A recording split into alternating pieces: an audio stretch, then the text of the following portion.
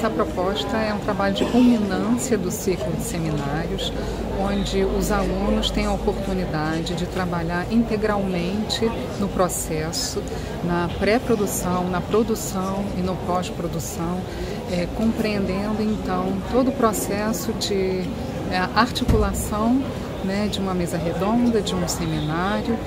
É, esse ano também a gente tem uma importância, né, uma, outro aspecto interessante que a gente está fazendo 10 anos, está comemorando 10 anos né, da nossa especialização. A gente está na décima turma, então acho que essa turma também está tendo esse papel de articular esses, é, esses outros saberes e desafios né, da divulgação científica para um público mais amplo. Uma das coisas interessantes, né, no sentido bom e ruim das fake news, é que elas não simplesmente substituem A por B. Elas simplesmente minam a nossa capacidade de confiar em qualquer coisa. A divulgação científica se tornou crucial, né? sempre foi, né? Mas em momentos como esse, onde as instituições estão sendo minadas por, digamos, uma desconfiança generalizada com a ciência, a produção e a divulgação da ciência se torna justamente um mecanismo fundamental de defesa dos direitos civis e da democracia. Falar sobre as questões que envolvem acessibilidade, relações étnico-raciais e questões de gênero dentro do campo de estudo e pesquisa da divulgação científica.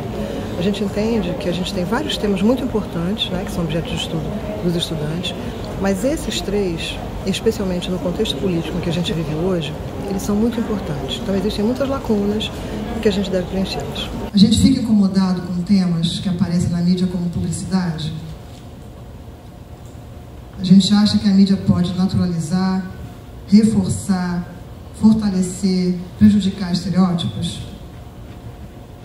Por que, é importante valorizar e potencializar a equidade de gênero e raça nos espaços institucionais como a família, a escola e o trabalho, são espaços onde a fé, as informações, os fatos, eles circulam, né, são compartilhados. Né?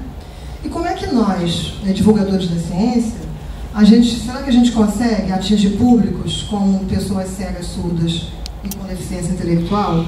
A gente tem discutido bastante, é, tentando é, é, mapear a divulgação científica no Brasil, não só no presente momento, mas também historicamente. Então a gente tem já há cerca de 20 anos, na verdade, a gente tem tentado é, percorrer justamente é, como que a divulgação científica tem sido construída no Brasil.